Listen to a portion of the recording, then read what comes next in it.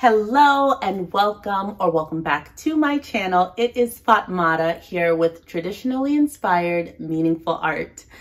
It has been so long and I cannot tell you how happy I am to be back. I have some things to share with you, but first I think we need to clean you up a little bit.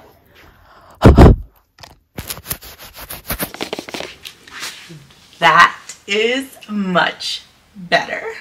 Well, I hope you notice a difference because my friends, I am coming to you live in person, full color, hopefully HD.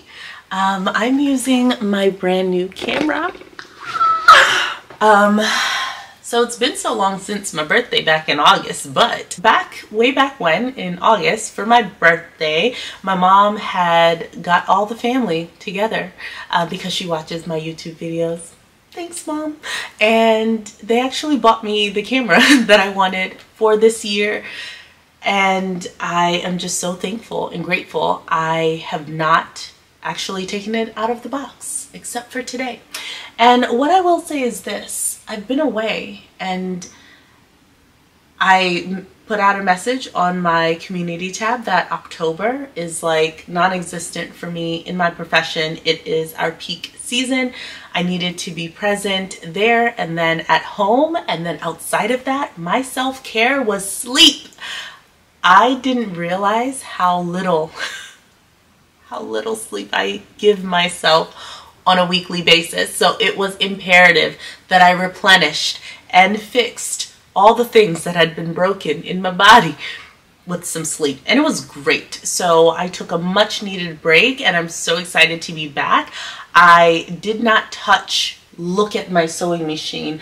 I I'll get into it but I couldn't stitch a thing. The one video you all received was for the Zadie jumpsuit. Don't you worry we will be getting into that in just a moment. And outside of that legitimately all I could do was think about sewing feel fabric think thoughts. Uh, but that's as far as I got this entire Zadie jumpsuit didn't even take place. No sewing occurred until November. So I'm really excited to bring that to you and I'll share all about this and so much more. L let's start. Well, what I'm wearing right now is my gable top. I mentioned in my indie pattern wish list that I wanted to try out the Jennifer Lauren handmade gable top and here is my wearable toile. I have some thoughts. So here is the top. It is extremely long. I really like it, so I've already cut out another, but um, let's see. I had cut out based on the sizing. I cut a size 14 because in looking at the finished garment measurements, given that this is a knit and I should have a little bit of negative ease, Anyways, I cut out a size 14, so this is in the size 14. As you can see, I have quite a bit of space. It's like a comfortable fit, but it is what it is. I just made this tonight um, because legitimately I have so much Sew Jo just radiating through my body and I want to sew up all the things while I have the time, energy, and ability to do so. So it is an unspeakable hour and I figured I have makeup on my face. I said, girl, I think today's your moment to shine. So here I am. This is made out of this lovely ribbed, it almost feels like it's two different fabrics, but both of them I picked up at G Street Fabrics some time ago and they just were the perfect match as far as coloring is concerned. But I had very little of both fabrics. So I knew that I needed to hack some things together. So I went ahead just to test out the fit. So I already know that I'm probably going to size down for future Jennifer Lauren handmade gable tops, which I've already done. A sleeve is very different than the pattern piece. So I laid the sleeve pattern on top of the fabric that I had of this um, contrasting fabric and so much of it was going to go to waste if I cut out the slim sleeve and I was like mm, I kind of want to use as much of this as I can because scraps with knits in those really small quantities, I don't know what to do with them. So I ended up doing this more balloon-like sleeve and just used the same um, self fabric from the bodice of the shirt here. I overextended the length of that way too much. Did not need to make it that long, but now it just makes it extra cozy. Anyways, this is legitimately hot off the press, unhemmed, because I was trying to figure out, do I leave it this way because I don't care and I'll just tuck it in? Or do I bring it up a little bit because even if I am tucking it in, I don't want to have to fiddle with trying to find places for all that fabric to go. So I haven't hemmed it yet, but this is where I am. I haven't even pressed the cuffs. Oh my gosh, I'm just so excited. I was like, put on the camera. Let's talk to the people. What else have I made um, this this weekend? Legitimate, well, this week, like today, yesterday, these past two days, okay? I have made four things because they're knit items and I'm loving it. So, the first thing it doesn't look like much, but it is a little cropped top, if you will. And I had bought this, um, oh my gosh, what did they call this color? Chestnut. Uh, this brown double brushed poly fabric um, from Joann's I purchased and I got it because it it's not an exact match for my skin color, but would be a really nice base for me to wear under. As you can see, the Zadie jumpsuit is a v-neck, so things like that that are v-necks for me to wear under it to have like a neutral base when I am wearing something like that so I can still be covered. So I made this and I was watching Julie from the curated curvy BFFs in my mind, but that's story for another day. I'm going to link her channel below. I've just been binging her videos while I haven't been on Instagram, on YouTube and such. So she was talking about the triple, mm, I'm not to, but it's the zigzag stitch that has the three broken lines and then the other three broken lines and then it continues on. First of all, because the stitches has the three broken lines are so short you know, for the individual ones, it sinks into the fabric so beautifully. I did a tester, and of course I can't find it now, but if I remember, I'll put a little clip of it. But I saw the difference between what a regular zigzag stitch looks like versus this like triple stitch. And it sinks into the fabric so beautifully because of those shorter stitches. It is a game changer and still has so much of that stretch ability. It's fantastic. So because this is always going to be worn under something, I went ahead and just folded the edge over here and did that new stitch of my dreams that I feel like I'm just going to be using on all knits. I used to just use regular zigzag stitch or the lightning bolt, but this new one, game changer. Then for everything else, I used my serger, and this pattern is a vintage pattern that I'd recently picked up. It is McCall's 3187. So in looking at it, it seemed like it was gonna give a really nice, decent fit and like be really fitted. It only came in one size, which is a size 12 with a bust measurement of a 34.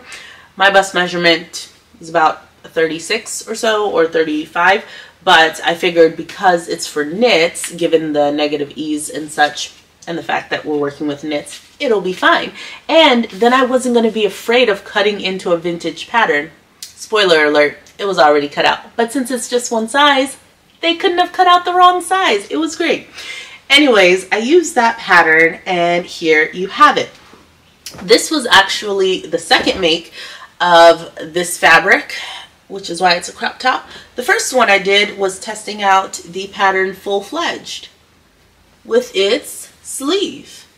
I definitely did not make it the full length that the pattern calls for because this is another one that is like sort of like the gable, this whole tunic length thing. I don't understand. So I made it like a reasonable just shirt length with the sleeve to test it out. I also made it like three quarter length sleeve. Again, I could see myself wearing this under things primarily, Um, but I also did all of that shortening so that I would have enough of the fabric to make this little cropped top because I knew I wanted to make this as well. So it was nice that I was able to use all of that one yard of fabric to make both of these lovely things that hopefully will be staples in my wardrobe. Again, the double brush poly is super cuddly and soft, as you might know, and it is going to be something to keep me toasty and warm through the winter months. Now, I really love when I find a fabric or a pattern that I pick up and I utilize almost immediately. In my world, it doesn't always happen. When you are a collector of many things, my friends, sometimes it takes a while for you to get to all the things. But I had recently, in a Simplicity sale, picked up S8874. It is this beautiful knit dress with various necklines, various lengths. It has pockets if you so choose. I did not for this one but we will talk about it. And it has just so much potential. I looked at it and I said, ooh, I think me and you could be friends and it did not disappoint. I went ahead for view C, the longer length with the higher neckline, and I also made it long sleeve. So I hacked the pattern because it does not come with long sleeves. They could have easily done that for us, I think, but we move on. So I also increase the neckband here. I made a much wider neckband so that it would just sit higher on my neck. In looking at this photo and when I went on Instagram, I definitely thought that the neckline sat a bit higher. I was actually thinking that this um, higher neckline was going to be more mock neck, like sit a bit higher on my neck.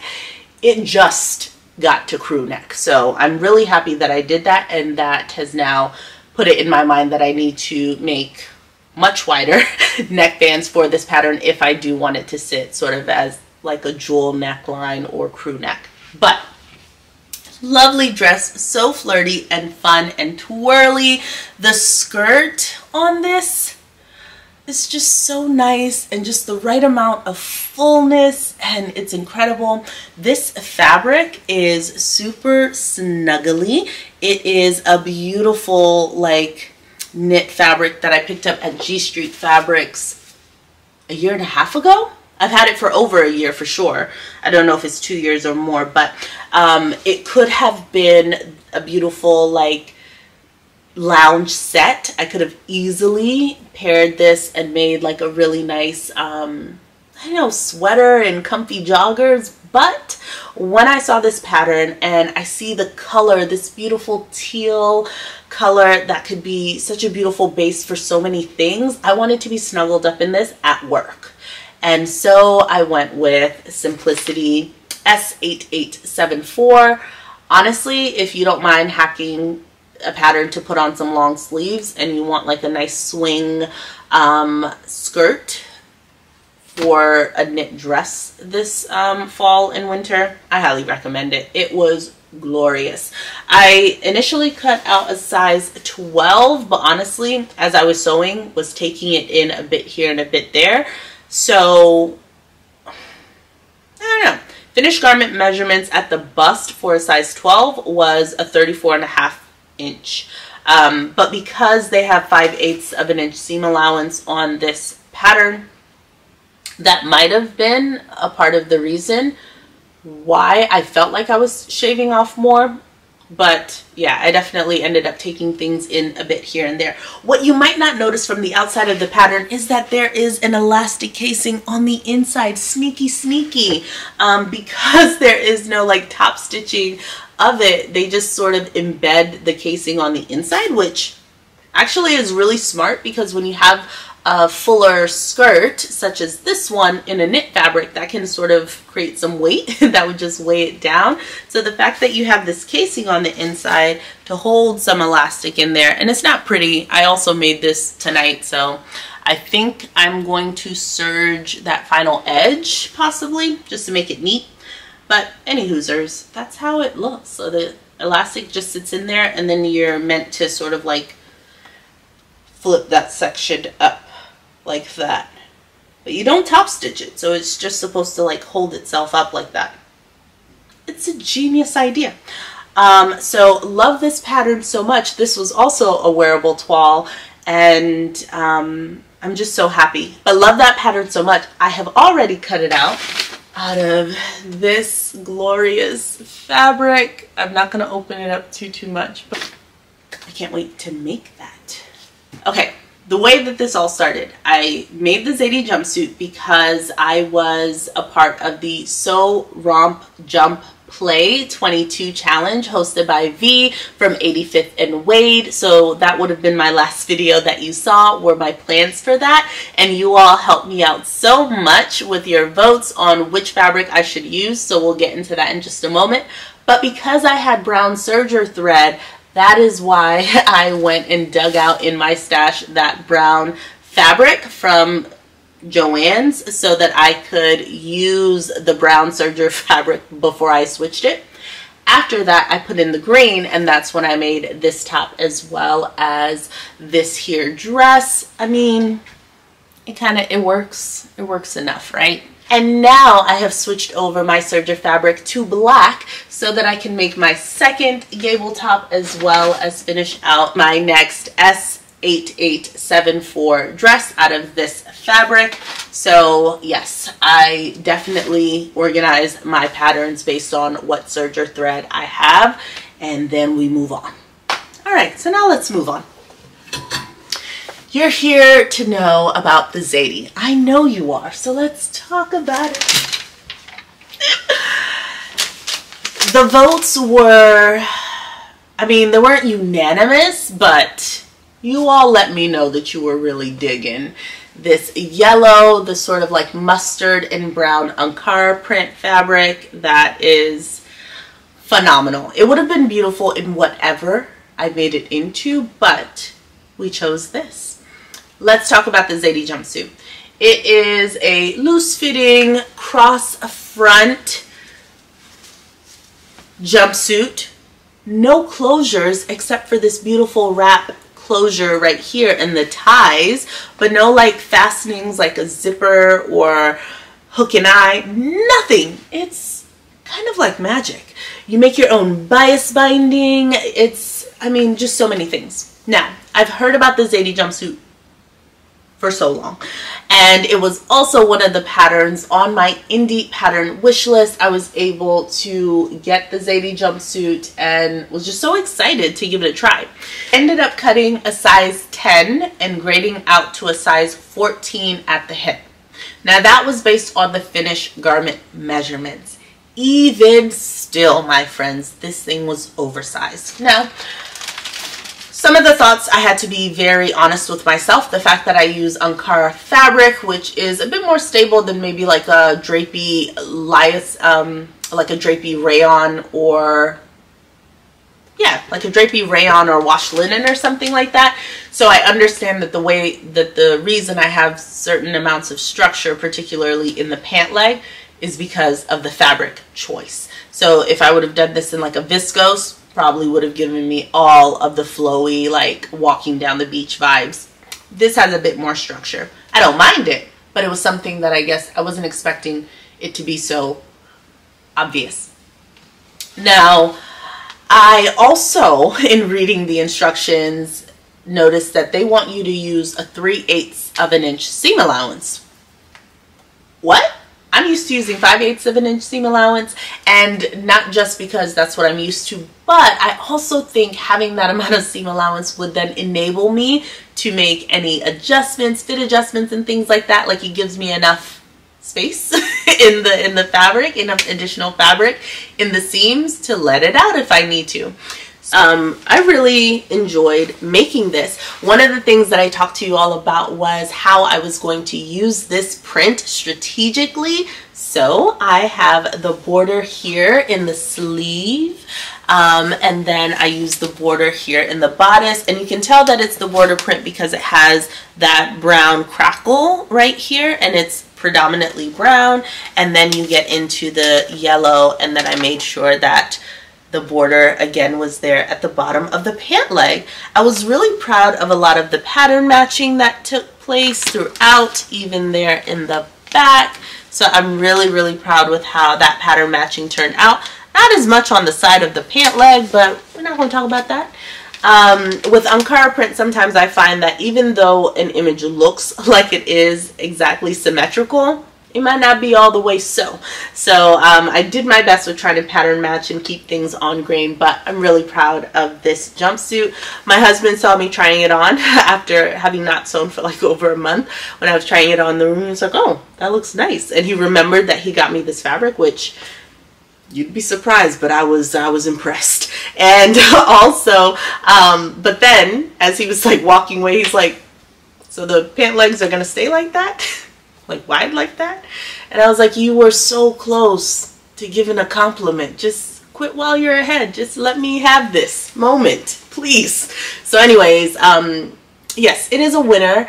I wore it earlier today. I've been wearing it on Zoom calls.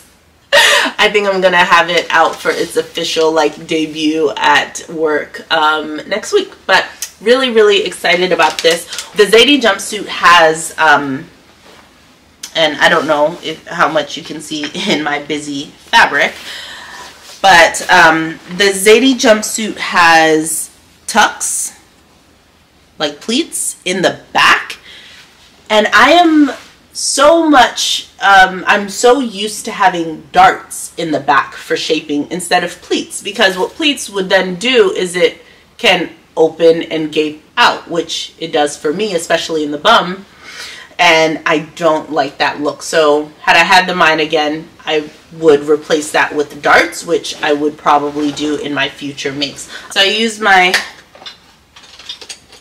bias binding maker kit and I used the 18 millimeter size and that gave me the perfect width of bias binding for this particular make. I'm currently using my Singer, like my old faithful, because my Bernette machine is, is needing to be mended. We'll talk about that in a second. But I remember that I had bought myself so many little feet for my Singer sewing machine, one of which is a bias tape attachment foot. Look at that. Look, look at so you feed the bias binding through here as it goes under the presser foot. And then you use this gauge to tell it where to sit. Like what depth to hold this thing in place. It was so easy. I just, I sewed it up in one go. Listen, after having to fiddle and do all the fitting adjustments that took longer than it needed to, I wanted to save myself just a little where I could without compromising the outcome, and that was just glorious. So use your feet if you have them. Um, I'm not going to tell you go out and buy bias binding foot because I don't know how much bias binding you're doing, but saved me a lot of time, and I'm so grateful. So there it is. Here's my Zadie jumpsuit. And again, um, go on over and look up the hashtag Sew Romp Jump Play 22. Again, that challenge was hosted last month in October by Vee from 85th and Wade in honor of National Jumpsuit and National Overalls Day, which was October 26th. So thank you so much again for allowing me to be a part of that. Sorry, I could not get my made up before the 31st, but I am here now. The reason why I'm using my Singer sewing machine is because I think I nicked the bobbin case on my Bernette and that was unfortunate and I am a tinkerer. I have a whole video where I repaired my Singer on my own. That's why I love mechanical machines because I am not afraid to get up in there and try my best um, following YouTube videos, of course, but for the computerized, for the big old computerized things, I said, you know what I'm not going to do is break this investment. So I kindly took it in to my Bernina dealership. I have a Bernina dealership, y'all. It is too much. no, but I took it where I actually picked up, it's G Street Fabric. That's where my Bernina dealership is. And actually it was due for its first year checkup anyways. It legitimately is like taking care of a child. So um, it was due for that anyways because I bought my machine back in November around the Black Friday sales uh, last year. So it was due time anyways. So I took it in and of course, since I was there, I said, you know what, I'm, I'm just gonna go upstairs really quickly and see if by chance there's anything here, you know, like maybe if anything catches my eye. And some things did and some things came home with me. So here they are. It doesn't look like much to you, I know. But look, this is what the tag said. I think the word on there says cashmere. Does that say cashmere to y'all? That? That says cashmere. Anyway, I couldn't really understand the rest of it. It was a lot of grams, but I saw two by two rib in pure cashmere. And I said, I'm sold. I am. Very happy to bring this home. So um, it's like a oatmeal color. It has the two-way stretch that they were talking about in this direction. Not really much happening um, lengthwise there, but beautiful ribbed detail. And I mean, if it's cashmere like they say, I'm gonna be real happy. But either way, it's a great neutral and basic. I got it in the dead stock section. So $2.97 a yard. About two yards of it. Really happy about that. I want to make a long line something. I don't know yet, but we shall see. Then, as I was rummaging in that same dead stock section, leather. I saw this faux leather and on the back of it, it is actually like, like just like a, like a cotton knit. That's what it, that's what it looks like. Like you can't, you don't understand. Do you see that? Anyways, it's fantastic. It has this much, this much give, that much stretch. And, um, what what do I want to make out of this? I don't have a lot. It's like less than two yards, probably under a yard, really. If yeah, because it has like a jagged edge, so it's not all the way that wide. So maybe a yard. And I want to make a blouse out of this because it's not enough to make like leggings or anything or like pants out of this. Could I? Could I make some pants? Yeah. I mean, they'd be short, but no, I don't know. I'm, I'm, I was thinking a really fierce, like, structured top out of leather. Because I, I feel like that would be a bit more unexpected than pants. And I don't, I honestly don't know that I can squeeze pants out of this. So I don't want to risk it and then start cutting it. I don't know. But faux leather and I think it's a really good quality. I wish there was more. I, I hunted. When I found this one, I hunted and you know I get my workout in when I go. Um, but I could not. Alas, this was all that was there. But it's okay though. That means that was all I needed.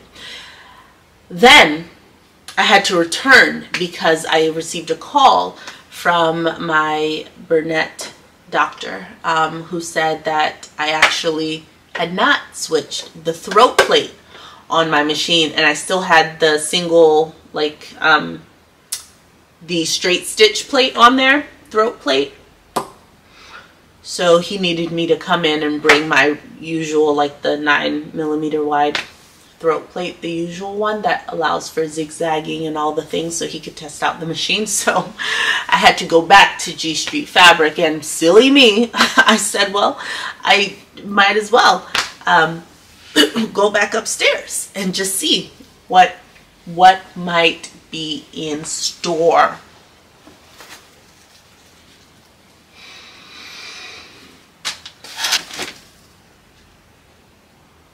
I didn't leave empty-handed. Yet again, I remember seeing this the initial time I went, this uh, fabric. And I didn't get it the first time. I saw many cuts of it and I didn't get it. But when I saw it this time, I was like, I can't resist it. There's something about it that was calling to me. So I answered and it came home. Again, this feels like a rayon knit of some sort and it's just like all the drape, all the flow. I already have this cut out. I'm making another S8874 out of it. So hopefully that will be on my body soon because I can't wait to wear it. And then I found this, which really feels like a cotton voile of some sort. It's like a little bit light. I just loved how vibrant this like Kelly green was on this black background with this geometric like print. You know, it was in three separate cuts of one yard each. So I don't know why somebody cut it up, but because it's already cut into like, do you, do you, do you hear what I'm saying? It's like cut already into by the yard. So I picked up all three of them that I found in that section. So I have three yards here and I feel like a really nice autumnal shirt dress with tiers because it's already cut into rectangles. I want to make sure I eke out all the fabric out of this. So I figure one of the yards can be a bodice structure and then the other two yards can be just cut up into rectangles and make a nice skirt for some sort of dress. Wear it with boots. I love this pop of green. Then I saw this double brushed polyester like fabric. It just says good vibes and has all of these lovely things. I thought of my daughter. I thought of a mommy and me. I have enough here that I think I could get like a full something for me out of this and something for her, which could be really nice. Um, so yes, and it's just super soft and cozy. So I wanted to have it and it's opaque with a white background. That's hard to find. So I wanted to have this. Then I found this. You won't be able to appreciate it from where you're seated, but I know you believe me. Do you see how it's sort of translucent? I you could call it sheer but would you? It's like, if you are a paper crafter, I'm talking to you right now. It's like vellum for fabric. If you know, you know. Like if you've ever felt vellum, then you understand what I'm saying. Like if you ever had a card that had that like smoky, it's like a smoked glass, but in paper form, and this is that, but in fabric form because it's like it's not sheer in the way that chiffon is sheer, but it, it lets the light in. You can see through it, but it also feels like against the body it wouldn't be. You know what I mean? Anyway, I plan to use this in like lining sleeves because I have this beautiful velvet lace fabric that I know I want to utilize in a sleeve, but I don't want you to be able to see my arm through the lace. However, with this under it, it's just perfect. And I think there was three yards of it or so. And I brought this home and it's just glorious and it would make a beautiful slip as well. It's just great. So that's what I got on this trip. Four things. I feel like I've gotten definitely more responsible with my purchases. There were many things that I could have gotten. And I saw my favorite person there, Kitty, um, at G Street. So if you're ever there, just ask for Kitty if she's available. She's the best. so I got to like catch up with her and it, it was just awesome. So that was fantastic. And yeah, I'm, I'm really excited about, about these things. Oh, for old for old time's sakes, let's do a quick thrifty Thursday. Okay, it's not gonna be quick, but we're gonna do it anyways. So I got a 199 bundle. Let me tell you, when I saw what was in here potentially, I knew I needed to have it. So all of the goodies, I, I had picked this up in another bundle as well from a thrift fine. So this is really cool that I got more of it. So it's this like prim, um, these snaps, which are like the brass snaps um, for like jean jackets and things. But that's really cool. Then I got, oh my gosh, I just saw, and I don't know the name of the person, I can't remember. Someone was just showing hook and eye closures, adjustable closures. And you can you appreciate what this means? You can put a hook and eye on like a pair of pants, but they have the grooves in them. So if you expand a little bit, you can like change, like move it. What? Mm. Listen, look at how large this hook and eye closure is. You put that on pants skirts and such. Then you got these buttons. Then I have a few of my self-covered buttons, which I'm actually now a little bit more comfortable with. So I'm excited to have these so I can use them. Then I had adjustable suspender clips. Don't mind if I do. Look at these gorgeous gold buttons. They're like gumdrop buttons on a white blouse. Could you imagine? And then like a button maker kit, but you know, I'm missing some of my buttons, but that's okay. And then some more snaps and closures. So I mean, my, my, my just assortment of snaps and closures is expanding, ever expanding. I have all different sizes of snaps and closures and, and, and colorways and such. More hooks and eyes, other smaller hook and eyes.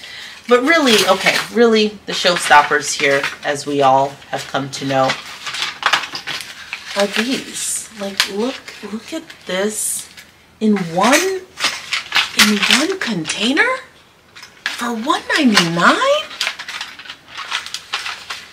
That was a glorious day that day that I went and I found this. And I have been waiting to share it with you for like weeks. But the thrift find that changed the game and this like this must have been like um, over a month ago when I discovered this because October, I was nowhere to be found. I was not going to anyone's thrift store. So this must have been like end of September. It has come from the dry cleaners, friends, because I did a massive boo-boo. I went and I discovered in the thrift store the most glorious table cover that I have ever seen. The intricacy of the lace detail in this piece is breathtaking I will insert clips of how much I paid for this beauty and its initial condition. Now, as you know, when you set certain rules, you just gotta stick with them because with routine and practices comes consistency and dependability. And what I have come to depend on, my friends, is pre-washing my fabrics closer to the time that they come into my house than the time that I actually use them to ensure that when I am ready to start sewing my friends, so are the fabrics, they are ready to be sewn. So, with that in mind, I popped this beautiful lace cotton tablecloth in the washer machine. I doubt that I changed the setting to be cold because I usually keep it in the middle temperature. You know, I want both waterways to be coming in so that it fills up faster, you know. I put that thing in the washer machine. When it came out, I did a silent cry because I couldn't let anyone in my house know that I felt that sort of emotional attachment to cloth. People in my household would not understand. Okay? So I had to keep it on the inside, but I was slowly crying. Oh. I think I took photos of what it came out like. I was distraught. The amount of wrinkles, I was like, how didn't I process? How didn't I think of that? Why didn't I imagine that this could happen? But I will say, honestly, I'm so thankful that I did it because I can only imagine my sheer frustration if that would have happened after I put in hours of work making it into a garment, which then might have made the fabric even harder to get back into any sort of flat state. So in all honesty, it was for the better because now I know this is a dry clean only garment once it is sewn up. But when I tell you this thing was worth the $10 I paid to have it dry cleaned, I could, they asked me when I took it, Zips is $2.99 for any garment. But my friends, if you ever take a household item, hold your breath. They charged me $10 to dry clean this, and it took everything out of me to not say, oh, that's a scarf. That is a scarf. It's just a, it's a big scarf, but it's a scarf. But I didn't do it. I said yes. I believe that is a tablecloth. And they charged me $10. It's like double what I, triple probably what I, what I paid for the actual, we're not going to get into it. So listen, look at how impressive, how beautiful, how delicate. Do you, do you, see, is this even the right side? Do you see this? Do you see the texture? Do you see that raised? Wow.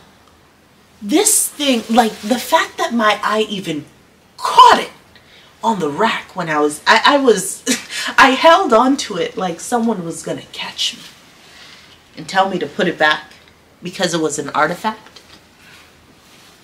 It's so glorious. I'm going to sound like a broken record, but Zimmermann, that's all I could think. When I think about what makes some of these high-end pieces look so incredible, sometimes it's simply the fabrication. They have the simplest silhouettes. And it's the fabrication and what they're using and the materials that sometimes as like home sewists, we just can't get our hands on. But when I saw this and the lace detailing and the cutouts and all of the you see how the edges are fit? And of course, I look at look at my my struggle. Look at how intricate this is. I was smitten. I was bitten by it, and I was smitten. I am so like, look at how that corner is finished off, man. Um, talk about possibilities. Talk about this is gonna have to hang itself up for a second just for me to come to because the thing that I produce, the thing that I work on, the thing that I make with this, one, must be lined, but also has to be able to, you know, allow the fabric to speak and to shine. And I have to work with, of course, the limits of the fabric that I have here. But when I say do not sleep on the linen section at your local thrift store,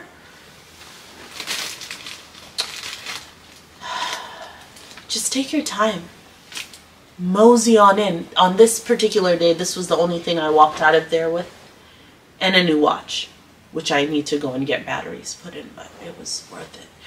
Look at, I'm just so happy. Anyways, okay you can tell it's been a while. I've missed showing up and talking to you about all things craft, creativity, inspiration, and it just feels so good to be back. I cannot wait. I have so much more else that I can do. Like, I went to Joann's this weekend. Oh, G Street Fabric is also having their Veterans Day sale over this weekend. So I'm going to put in the description box down below if you're in the DC, Maryland, Virginia area. Need a reason to go to one of my favorite fabric stores. I'm going to put that link in the description box. But go, tell them I said hi. Anyway, I went to, um, this weekend is also Simplicity sale. By the way, I had McCall's patterns that are on my wish list. I actually was in Joann's last week during the weekend days on Thursday, I believe. And legitimately, they did not put up the signs that they usually put up that say like McCall's 199. They didn't have it. And I didn't look in the paper. I had no business being in there is what I told myself. And I said, good for you. They are not having a sale leave. So I did. And then this weekend, I went to go and look at the weekly ad and saw that last week was supposed to be a McCall sale. Hold the phone. Tell the press. Why didn't they have the sign up? Why didn't I ask somebody? I don't know. Anyway, um, I know we're getting into the holiday season, so I'm going to be more vigilant. And truly, do I need those patterns? No. They would have been nice to have though. Somebody could have told me. That's all I'm saying. But this week, it was a simplicity pattern sale, and I picked up four patterns. One of which I think I might be returning or trading in for something else. But I got this one because it is a wide leg pant. I like view C and D. I like that view D has that waistband. View, view C has facings. I just think it could be really cool. I was trying to look on Instagram to see examples and I think we could get down with this. Then I picked up this pattern. Now, the reason why I got it is because I was looking for a pattern that has a puffy sleeve, like a set-in sleeve with a puff at the shoulder. Now that I have uploaded all of my uh, patterns to Trello, I can easily flick through. So I was doing my inventory. Like this was sought after. I was looking through to see if I have another puff sleeve pattern piece that I could borrow for dresses that I want to make? And the answer was aside from my S8875, which I've touted, that I love, that is the only one. But sometimes I feel that the that the that the cap on that sleeve just sits up a bit too high for me. I want something that gathers but doesn't like sit up like this. You know, I didn't, you know. Um, so I love that pattern, I still do. But I wanted something a little bit different with the gather and that happened to be of all of my I, mean I have a this much patterns that was the only pattern with a set in sleeve with gathers at the cap what? So anyways I found this in the catalog and view A and B as you can see have a really nice gather there. Um, so looks really romantic. I can see myself making that. Then we have S8655. Now I got this for this view right there, the um, like peg leg style view B. I want that because I have some some stretch wovens like a velveteen and a stretch um, like faux leather. That would be so good and like a really nice sleek leg pant and that's what I want to make. Then I got this because I was thinking this top in the faux leather that I just showed you here, this like more structured one would be nice. But who am I kidding? I'm not going to wear something that cropped and then it's short sleeve. Then I was like, then you're going to have to find something to layer under it. Give it up, Fatmata. Anyways, so that's why I think that one might be going back. My battery is about to die. So I'm going to say goodbye, but it is so good to be back. I can't wait to see you all soon and share some more things, hopefully some more makes. Let me know what you're working on down below and how do you feel like the Zadie jumpsuit turned out? I would love to know. If you are coming back from a break or about to go into hibernation after doing some sewing, listen, it is normal. Get your rest and do whatever fuels you in the moment. And sometimes it might not be sewing, and that is okay. And I had to learn that over my little break. But feels really good to have the Sew Jo running again. Love, love, love being back. Have a wonderful day, you all. Bye-bye.